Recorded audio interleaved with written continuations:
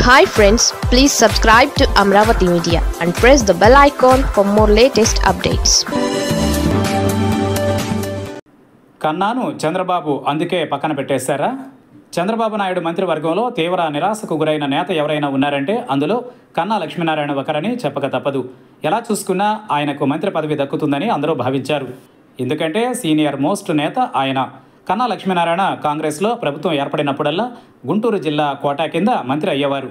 Seniority మాత్రమే కాకుండా సామాజిక వర్గం కూడా అదనపు బలమయ్యి కన్నా లక్ష్మీనారాయణకు ప్రతిసారి మంత్రి పదవి దక్కేది. కానీ ఈసారి అవే ఆయనకు శాపంగా పరిణమించాయని చెప్పక తప్పదు. టీడీపీ జనసేన బీజేపీ పొత్తు కారణంగానే కన్నాకు మంత్రి పదవి రాలేదన్న కామెంట్స్ వినపడుతున్నాయి. కన్నా లక్ష్మీనారాయణ రాష్ట్ర విభజనకు ముందు కూడా మంత్రివర్గంలో ఉన్నారు. ఆయన విభజన జరిగిన తరువాత తొలుత వైసీపీలో చేరాలనుకున్నా అనుకోని పరిస్థితులలో ఆయన బీజేపీలో చేరారు. ఆయన ఆంధ్రప్రదేశ్ బీజేపీ రాష్ట్ర అధ్యక్షుడిగా పనిచేశారు. కానీ రెండేళ్ళ తరువాత ఆయనను పదవి నుంచి తొలగించడంతో మనస్తాపం పొందిన కన్నా లక్ష్మీనారాయణ టీడీపీలో చేరారు. కానీ ఆయన జనసేనలో చేరతారని తొలుత అందరూ అనుకున్నప్పటికీ అందరి అంచనాలకు వ్యతిరేకంగా తెలుగుదేశం తీర్థం పుచ్చుకున్నారు. కన్నా చేరిన తరువాత చంద్రబాబు కూడా ప్రయారిటీ ఇచ్చారు. కోడెల కుటుంబాన్ని కాదని చంద్రబాబు సత్యనపల్లి టికెట్ను కన్నా లక్ష్మీనారాయణకి ఇచ్చారు. ఇక సత్తెనపల్లిలో గెలిచిన వెంటనే చంద్రబాబు కేబినెట్లో ఆయనకు గ్యారంటీ అని అనుకున్నారు.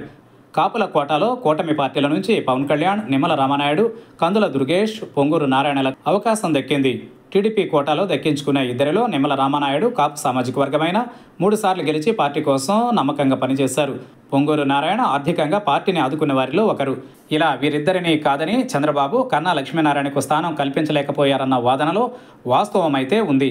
ఎందుకంటే గంటా శ్రీనివాసరావు లాంటి వారిని కూడా పక్కన పెట్టడం ఈ కేబినెట్లో చూశాం. కాపు సామాజిక వర్గంలో ఎక్కువ మంది ఉండడం కారణంగానే కన్నా లక్ష్మీనారాయణకు కేబినెట్లో చోటు దక్కలేదంటారు. ఇక కన్నా లక్ష్మీనారాయణకు మరో ఇబ్బంది కూడా ఉంది.